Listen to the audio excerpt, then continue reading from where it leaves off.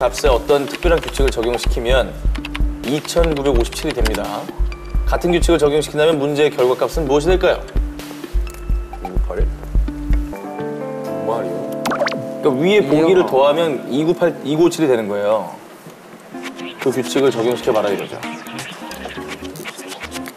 잠시만요. 998 뭐예요? 81. 981. 네, 전푼것 같네요. 벌써요?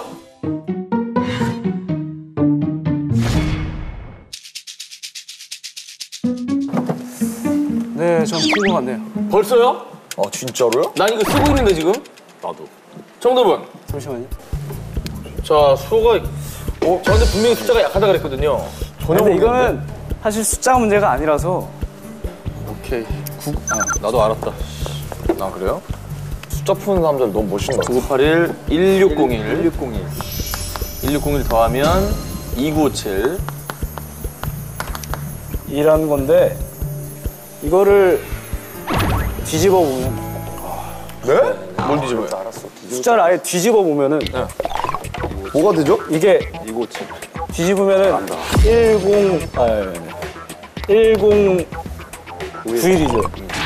플러스 1866 아. 어머 어머 어머 그러면 2957이 아 그래서 거꾸로 뒤집어서 더 하는 거예요? 뒤집어서 더하면 된다고?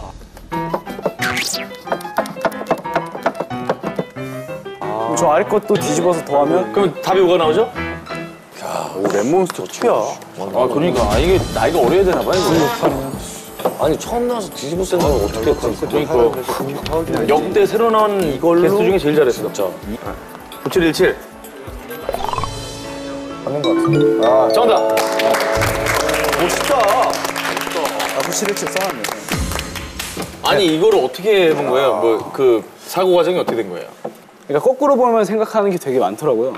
뭐 데칼코마니나 그래서 이것도 그 뒤집어 봤는데 다행히 그게 맞더라고요. 우리 뒤집는 거 몇 번 해봤는데 전혀 생각을 못 해냈는데 말이죠 뒤집어 조금. 어 이렇게 오고 이렇게 튀어나왔는데? 네 맞습니다 진짜 이런 거안 해봤어. 너는 안돼